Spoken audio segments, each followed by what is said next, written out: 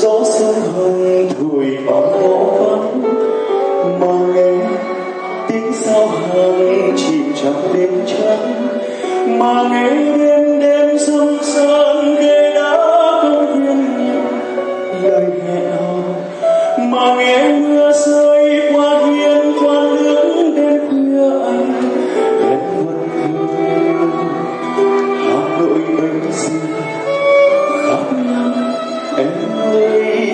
sống ngoài ô nay đã là cao những vườn xa nay đã là xa lộ